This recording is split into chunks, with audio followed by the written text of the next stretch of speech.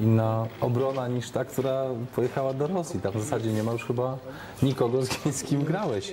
No bo nie ma ani Maćka Rebusa, ani nie ma Kamila Glika, ani nie ma Michała Pazdana, ani nie ma Łukasza Piszczka. Tak naprawdę wszystko będzie nowe.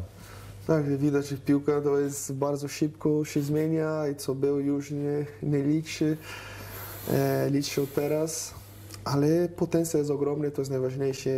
Tych piłkarzy, którzy są, jak mówię, jest przypadkowo, nic za darmo nikt nie, ci nie daje, Zasłu, zasługiwali być tutaj, jest potencjał, kadra, ma piłkarzy, którzy grają na co dzień w dobrych ligach, dobrych klubów, także trzeba to wszystko razem dać razy, żeby to dobrze funkcjonowało, żeby to e, te automatyzmy wróciło się i wyglądało jak, jak najlepiej. Wierzę, że tak będzie, że początek zawsze jest trudniejszy, ale potencjał jest na to, żeby, żebyśmy wracali na to, co drużyna narodowa